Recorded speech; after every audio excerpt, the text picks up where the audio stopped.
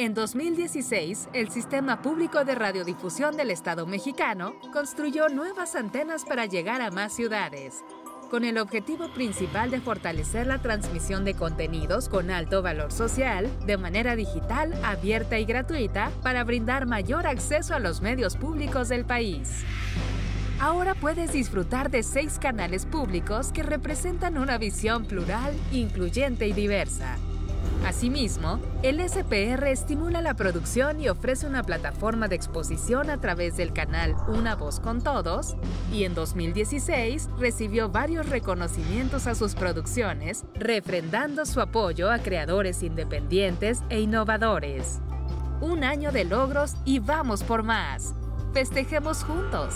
El SPR te desea felices fiestas. Sistema Público de Radiodifusión más contenidos más cerca de ti.